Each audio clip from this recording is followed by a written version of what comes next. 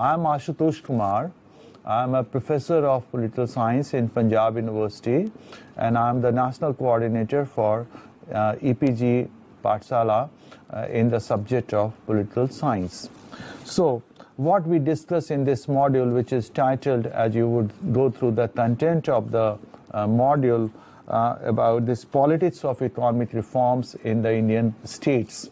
So, one, like we, it's very clear that in this module we are going to discuss about the factors which led to the economic transition from development planning model to the market economy or the neoliberal uh, market uh, oriented economic reforms which started in true earnest in 1991 and also we are going to discuss that how this uh, the, the, the economic transition which has taken place in India has impacted on uh, the federal uh, economy uh, on the states and how can we explain the, uh, the, the varying experiences of different states in terms of their economic performance in the last 30 years. Because we have almost like we have crossed 30 years mark. So one, like we, it's very clear that in this module we are going to discuss about the factors which led to the economy transition from development planning model to the market economy or the neoliberal market oriented economic reforms which started in true earnest in 1991 and also we are going to discuss that how this uh, economic transition which has taken place in India has impacted on uh, the federal uh, economy of uh, the country and what have been the implications of the economic reforms on the states and how can we explain the, the, varying experiences of different states in terms of their economic performance in the last 30 years? Because we have almost like we have crossed 30 years mark and now we are like you can say that the economic reforms were initiated by Indira Gandhi when she came back to power in 1980. So it has been like almost like, uh, say, uh, 37 years. And if you consider 1991 as the period when all these started, then uh, it would be like, uh, uh, say, uh, 25 years of economic reforms in India. And uh, as you we know, the Manmohan Singh presented the budget in 1991 as a finance minister of India. And with that, the, it started all in a real uh, sense, development planning model to market economy. Now, when we discuss about the economy of India, uh, if we refer to kind of India or in 1947, the poverty was a great issue. The main agenda, the, the policy makers, first generation of the political leaders who took over the reins of power at the center as well as at the state was to bring about development. The, the whole idea about nation building, state building, democracy building, it veered around the idea of uh, objective of achieving development in India. In fact, at the time of uh, independence, there was also this idea about economic nationalism, and there was this thinking that India had become politically independent. There was a need that India should not uh, become economically dependent. India should not become victim of economic imperialism or neo-imperialism, as it was being argued at that time.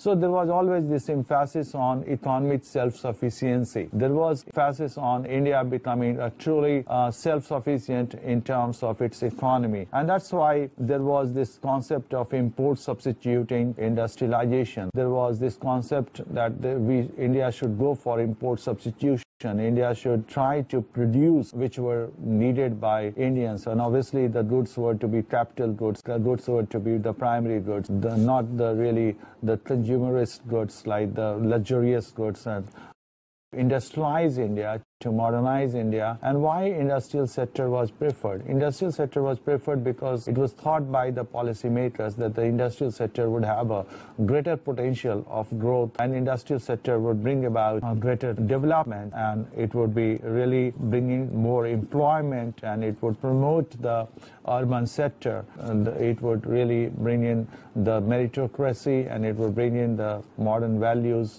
uh, the achieved value in Indian society, which would in turn help the India's democracy. So basically, the import substituting uh, strategy was also uh, uh, very much adopted by India because uh, the, it was also a statist model, a state oriented model. Why so much emphasis on the state? Obviously, because there was hardly any developed industrial capitalist class or a developed agrarian capitalist class. Both industrial sector and the agricultural sector, because of the colonial domination, was in a very poor shape. So who had to take the responsibility? A state had to take the responsibility.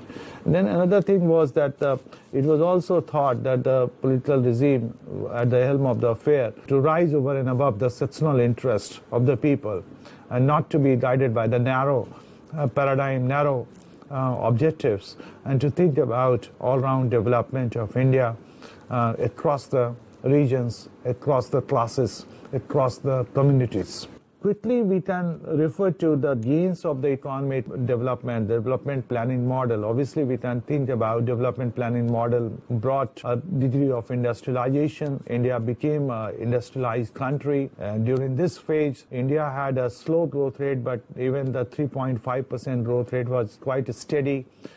It could have been much faster, but then there was a growth rate despite India facing war in 1962, 1965, and 1971, which were a major reversal to the economic progress. India development planning model really helped in building the economic infrastructure, building the human capital, IITs, IIM, all those universities that came up, which became, uh, which really prepared the ground for India becoming a IT superpower in the 90s. So you can think of Light's development strategy really helped India in consolidating the economic gain. And remember that one of the major feature of India's development planning model was that industrialization was achieved not at the cost of agricultural sector. Of course, industrial sector was preferred more than the agricultural sector, but agricultural sector was not neglected. In fact, there was a massive investment in the agricultural sector also, and one of the major gain of the development planning would be that India became self-sufficient in food grains after having this uh, food deficit, chronic food, food deficit, which compelled uh, Indira Gandhi to go for a devaluation of Indian rupee and to um, beg for food grains from U.S. You had this uh, Lyndon B. Johnson as the president of U.S. and the prime minister going there and asking for, and that made asking for food grains uh, to feed the hungry Indians, and so India became a food basket, ship to mouth kind of existence India had, a great humiliation. So you can think of green revolution strategy, you can think of the white revolution. So it became uh, self-sufficient in food grains despite having a very low level of nutrition or the calorie consumption lower end of the society. But uh, these were not the small gains given the scale of the population in India. The welfare policies were adopt massive investment on the part of the state for employment generation, for the elevation of the poverty they were undertaken. There was always this taking up the interest of the poor people. So obviously the interest of the rich people, property classes as Pranab Bardhan argues, and they were also taken into care. They flourished under the license quota Raj but at the same time the poor people also gained from the from the economic growth whatever the little economic growth which took place. And there was socialism ideal of uh, socialistic pattern of society the eradication of poverty redistribution of resources. So those are really important uh, gains for development planning now, when we think about the kind of transition, what, which were the factors which led to the economic transition? There can be many factors which we can discuss about. One would be that a low growth rate which was not sufficient to eradicate poverty, to allow the uh, benefits of the growth reaching to the common people. So that would be one major factor which has to be taken into consideration, the low economic growth rate. Was always this feeling that India missed the bus. India was not really able to compete with China, with any uh, many other countries which were at par with India in the 60s and in the 50s. In fact, India's development model was considered as the ideal model. The Westerners would come and they would study the India's uh, mixed economy model. The, both the private sector and the public sector were allowed to coexist, and there was a regulation of the by the state of the public sector as well as the private sector economy. So th- this was like this, that the low economic growth rate was one of the major factor. Then another, other factors were also there. The collapse of Soviet Union, which was a major trading partner and which was followed by the collapse of other East European countries. That was another factor which really hit India hard.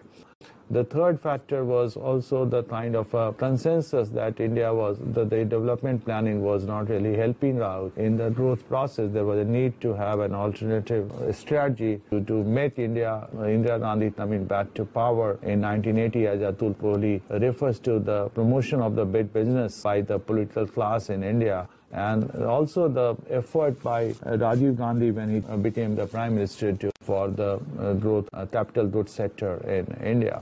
So there were long-term factors, and one long-term factor would be that the poverty was not eradicated. So there was a great discredit to the development planning model the seductive promise was not fulfilled. Then there would be other factors which we have to consider like the low growth rate, poverty remaining very high. Then we can also refer to the kind of a change in the attitude, change in the thinking of the policymakers, bureaucracy that India should transition. And there was this China factor, Southeast Asian countries experiences which also convinced the policymakers to go for the shift.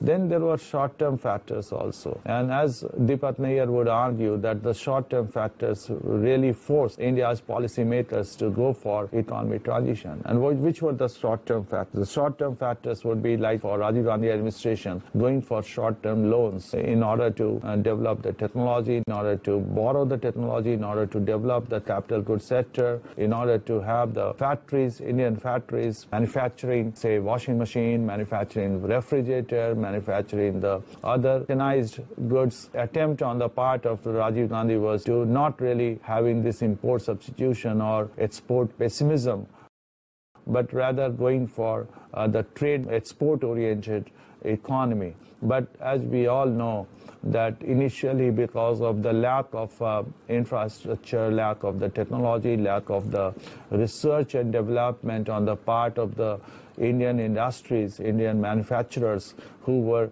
well protected under this market protectionism policy of development planning, there was a failure. And because India's exports did not really pick up, India had a problem of returning the uh, short-term loans which India had borrowed uh, during the Rajiv Gandhi administration. So there was a balance of payment crisis balance of payment crisis was also because of the rising prices of the oil after the Gulf War. So that would be another factor. I've already referred to the collapse of Soviet Union and the collapse of the East European countries, which were major trading partners of India. So all these factors really hit India's economy very hard.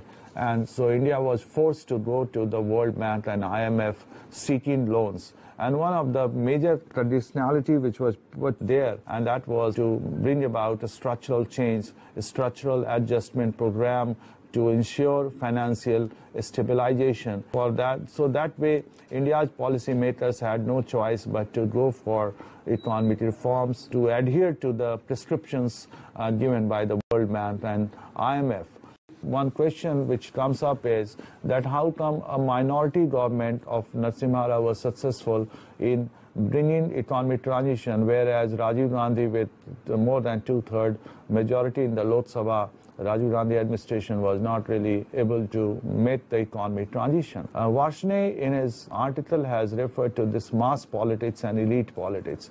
He says that economic reforms have been part of the elite politics and it was possible for a minority government like Narasimha Rao to go for economic reforms because at that time in 1990-91 India there was this Mandal thing, there was Mandir, so the communalism, a caste factor, they were on the rise and for that matter, uh, Congress was considered a kind of secular party. All the secular-minded parties, they sided with the Congress.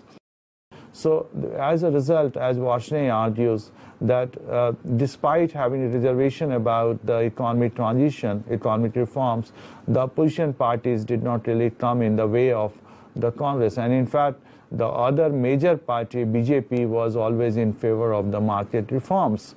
So that way, the market reforms were had a smooth uh, ride And also, like we have Rob Jenkins arguing that this uh, the politics of reforms have been a kind of in a stealth manner, in the sense that he argues that economic reforms were more successful in the softer, like those sectors like the banking, insurance, uh, uh, telecom, aviation, the sectors which are really related to the upper classes and the middle classes, there the reforms were introduced with much vigor because there was a less resentment because the middle classes and the upper classes, they have always been supportive of the economic reforms.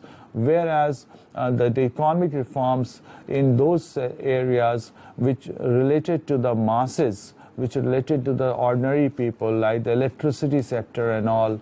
There, I think we can refer also to Pranab Bardhan and Atul Kohli, that there probably the reforms, much needed reforms, like in the labor sector, in the electricity sector, electric generation sector, power sector. We can also refer uh, the factor that uh, this new industrial policy, uh, uh which has been adopted, uh, gradually uh, received support among the Indian manufacturers who were earlier very apprehensive because they were not really confident of uh, competing with the foreign uh, uh, corporate houses or foreign manufacturing firms. In fact, Indian corporate sectors like Ambani's or like the Mahindras or Tata's, uh, Mittals, uh, they have become the global uh, stakeholders. They have become the global economic actors and Indian goods are finding market abroad and Indians have collaborated with the foreign companies and so there has been a kind of a newfound confidence, newfound um, uh, the uh, resilience among the India's corporate sector thanks to the new economic policy, new industrial policy, thanks to the opening of the market or open general license scheme.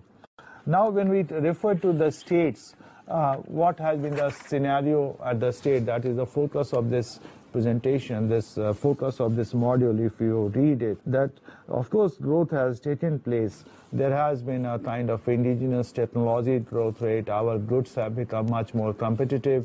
The quality of the uh, goods, Indian manufactured goods have increased. India has done very well in the manufacturing sector. India has also done reasonably well in the industrial sector, service sector, India is much ahead. So all these gains have been there, but there are pitfalls also. Agricultural sector has not gained as much as it should have uh, gained. There has not been really, farms have not really been that successful in redistribution of the resources or in attacking the poverty. The poverty level has not really been successfully brought down sufficiently. Still have unacceptable level of poverty in India despite being one of the fastest uh, growing economy in the world. In fact, India has been the second fastest uh, growing economy in the world after China the last 25 years. I mean, our average growth rate has been more than 6% in, in the case of India. There have been years like uh, 2006 to 2009 when India's growth rate was almost like 8%, 9%. And if you take the states like Gujarat, Gujarat, if you consider Gujarat economy, Gujarat has been the fastest growing economy in the world, much faster than even China. So there are uh, such stories. Now, when we think about the states, we have very different kind of uh, picture. Uh, as I said, that the states in India, we have 29 states in India and seven union territories those states which have had a better kind of infrastructure, those states which have uh, nearness to the market, uh, they have a higher income level, those states which are a better kind of governance, a better kind of climate for business, a kind of entrepreneurial culture, access to the sea and the transportation facilities, infrastructure, roads, electricity, uh, minerals, nearness to the market, those states have done or those areas have done much better than other areas. So you can see like the, the southern states like uh, Gujarat, uh, Tamil Nadu, Andhra Pradesh, Karnataka, they have done much better. In fact, development, there has been a kind of north-south divide that the southern states have done much better than the northern states, uh, maybe because of their um, um, early advancement in the field of education, early advancement in the field of uh, health and all due to their movement politics in Tamil Nadu or in Kerala. So you can see like the, the southern states like Gujarat, uh, Tamil Nadu, Andhra Pradesh, Karnataka, they have done much better. In fact, development, there has been a kind of north-south divide that the southern states have done much better than the northern states, maybe because of their early advancement in the field of education, early advancement in the field of uh, health and all due to their movement politics in Tamil Nadu or in Kerala. So there, there is there is a much better gains uh, from the new economic policies for some states, whereas other states which are the other states like Bihar, which do not have the minerals, the states which have a poor governance, where there is a widespread corruption or the, the crime or the kind of intimidation or the red tapeism, uh, poor connectivity level, uh, uh and also uh, poor uh, availability of the human capital, uh, remoteness like the northeastern states, uh, the, the topographical problem, those states have not really benefited much from the economic liberalization. And also because the central state has gradually withdrawn from the economic control or economic regulation, states are becoming more and more autonomous economic actors. So uh, it also depends on the state level leadership. So see, in 1990s, when Bihar had only 2.7% growth rate, whereas Gujarat had more than 9% growth rate. So you can see that the Punjab, Uttar Pradesh, Kerala, these states have a lower growth rate whereas um, better performing Gujarat, Himachal, Tripura, the gap is there. Like even if the Bihar is having a better growth rate in the last decade, but it would take years and decades for Bihar to catch up with Gujarat or catch up with the Maharashtra. So the gap between the rich and the poor state, the interstate variations, they are becoming a great reality in India.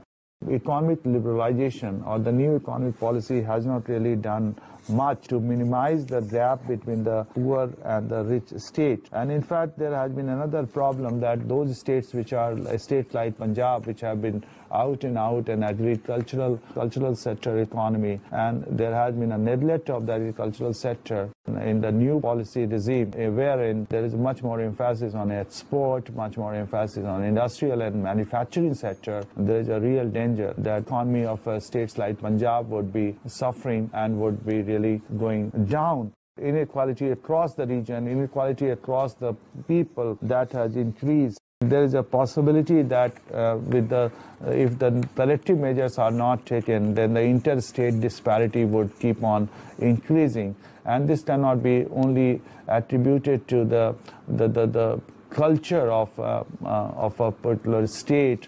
This cannot be really blamed only on the the, the lack of the leadership quality or the, the this thing. This is, there are absolutely uh, objective material factor which really determine whether the investment would come or not. As I said, that if you do not have a proper infrastructure, you do not have uh, natural resources, raw material, you do not have a cheap labor, you do not have a good governance, and you do not have a, a power, electricity, um, nearness to the market. So there, it becomes very difficult for the, the, the private capital to come. And uh, in fact, uh, right now, the economy of India is driven by private investment, whether it's a foreign direct investment or the investment by the, uh, the, the, Indian capitalist. But they are going for the better gains. Uh, and the private sector always try to invest. And that's why you have the industrial hub and especially economic zones coming up and most of the investment getting confined to the states like Maharashtra or Gujarat and the foreign investments not coming to the poorer states like Bihar or UP or say northeastern states uh, because so you cannot only blame the lack of governance or lack of the well. Uh, there are certain objective factors which really determine whether uh, a state is going to gain from um, new market economy are not going to gain from the new market economy. And so there is attempt on the, there should be uh, continued uh, role of the center uh, to, to help out those states which are not really gaining much from the uh, market economy. They are considered as kind of uh, non-performing states. So the center cannot really withdraw from the social and the economic sector. And there's a need to continue to try to develop the, so, the health and the education sector in these poorer states because we are seeing a lot of interstate migration when the, the, uh, the workers from the poorer states are going to the richer states like Maharashtra, like the um, Bihari laborers are going to Punjab, to Maharashtra, to Kerala, every parts of India.